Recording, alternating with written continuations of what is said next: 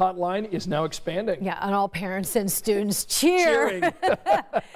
It's called Ask Rose and it's been very popular. They've been offering free math help with tutoring for students in grades 6 through 12 for 30 years now. It's been so popular. I know my kids have used it.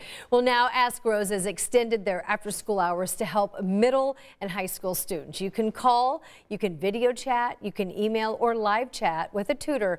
And again, it's after school and it's free of charge. I wish they had this when I was in high school. Oh, I needed ma math help in the worst way. The uh, help is now available Monday through Thursday from 3 to 5 p.m. And this is in the addition to the Sunday through Thursday hours that they offer of 7 to 10 p.m. You can check out askrose.org or call this number 877 Ask Rose.